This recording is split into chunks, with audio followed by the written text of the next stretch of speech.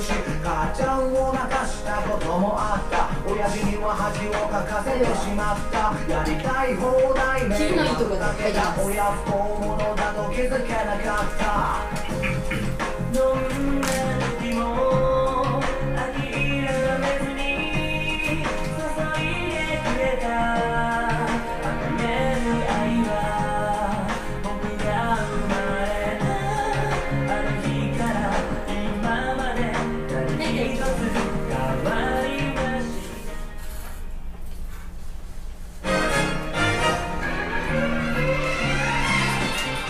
ビジネスオンステージ。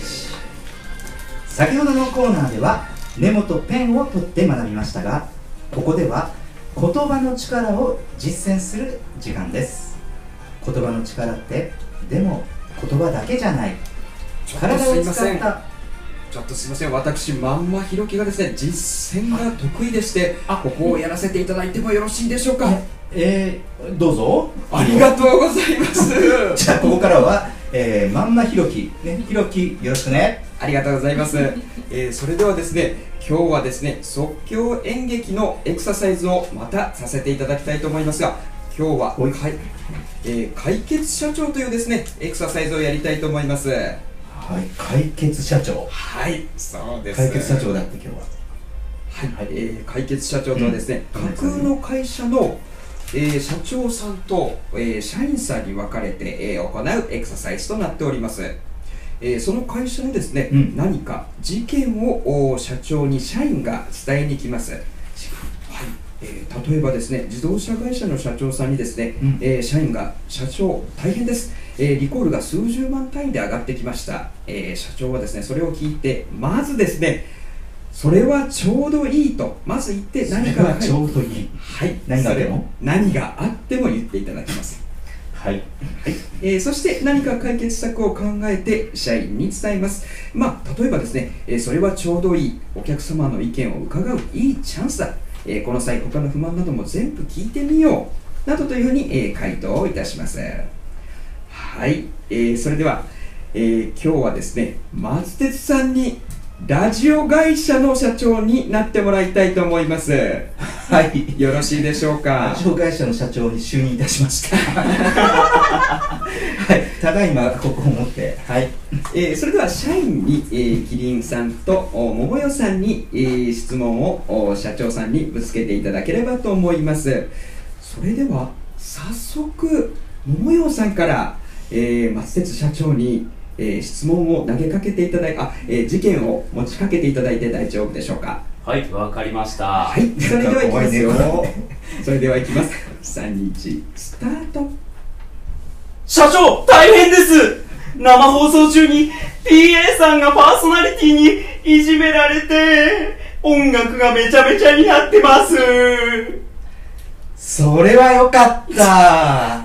いやーこれからね新しいまあ音楽のミックスを始めようと思ってたからでもうね音楽だけでこれから表現しようと思ってからちょうどよかった。さすが社長。こんなの？こんなの？こんな感じで大丈夫ですよ。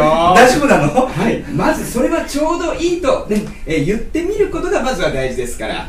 はい。ちょうどよかったって言うとさなんか絶対何かこの後言わなきゃいけなくなるよね。そうですね。逃げることができもうないですね。逃げることできないよね、はい。最初にちょうどよかったって言うと。うん。そうですね。はい。それでは、うん。キリンさんに怖いんだよ。今度は、えー何か、えー事件を持ちかけていただきましょう。いきますよ。3日スタート。社長大変です。あのですね前々からですね、うん。あのー女子の中心の番組を任されていたんですが他の女子が全員ついてこなくなりました。そうかそれはちょうどよかった。な副社長？はい！そうですねそれはちょうどいいですね。はい、えー女子が全員ついてこないということはですね、えー男性ばっかりのもうあの韓流ぐらいにですねえー男性をう打ち出して、はい、もう男性パーソナリティだけにして女性ファンをねどんどん獲得していきましょう。イエびっくくりしました。本当にびっくりしました。まさか振られるとは思いませんでした。どんどんどんどんこうそれではえー、桃代さん厳しいのお願いします。そうですね。それではいきますよ。3日スタート。社長大変です。どうした？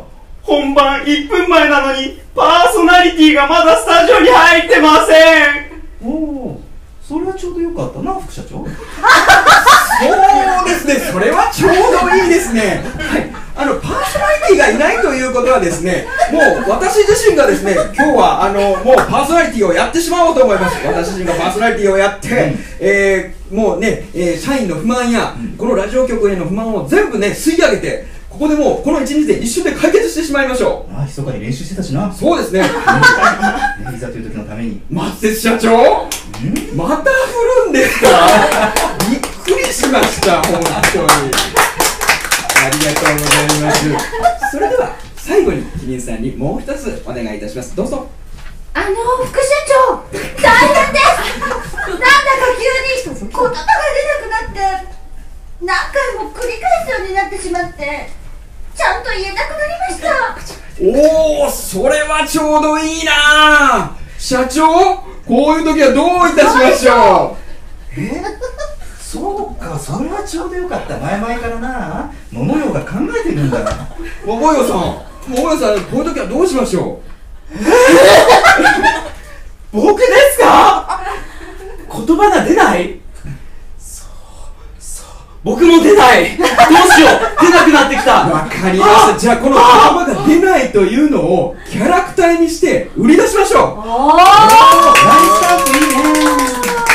時間稼ぎしました今。ありがとうございます。このような、えー解決社長というエクササイズでした。ああ皆さんいや盛り上がりましたしいやいやいや緊張しましたね。ありがとう。いえいえありがとうございます いやいやもう本当に筋書きがないからなんかねもうこのね、はい。なんなんゲストさんなの？キリンさんと桃井さんがね自由なんだけどさ。してやったりという顔をされてますが。本当だよね。はい。ねありがとうございました。ところで、えー、ひろきからインフォメーションあるんだよね、あはい、えー、私はですね、インプロカレッジという団体を、えーやっております。えーインプロカレッジと検索していただければですね、えー今後の私の活動等がですね、えーえー検索が、えーしていただければ見えますので、えーご覧いただければと思います。どうぞよろしくお願いいたします。はいひろきさんありがとうございましたありがとうございました。はい、えー今日の2つ目の曲です曲は、えー先日ね井茂貞子さんというユニークな名前の歌手の方にお会いして曲をかけるお約束しちゃいました、ねちょっと昭和歌謡っぽくて、えー松パパとかの世代にはねあの懐かしくてなんかちょっと嬉しい世代の曲なんですけれども、えー、井茂貞子さんで曲は「もう会わないと言えなくて」あー面白かった。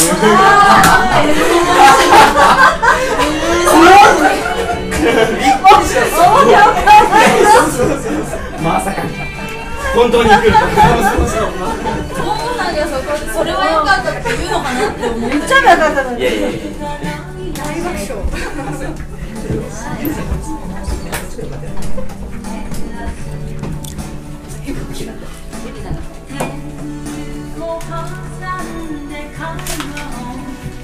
彼女脳手術したんだよなほらそうそうそうそうそうそうこの間話してこんな声なのだから、えっと、水曜日か、えっと、金曜日そう今ねちょっと、あの、狼聞いてって言って。ごめん枯れたままだあ面白かったああ面白かった払います 完全に。油断してます困るわそれじゃ本気として。怖いな、怖い。すみません。誰も信じられない。誰も信じないよ。いやでも考えてましたから。そこで信じるのはもう愛ちゃんなんです。ちゃんとだから副社長がこっちにやれるようにこうしてあ、そうだろうなってことなんかそしたらめっちゃその間にでも考えられた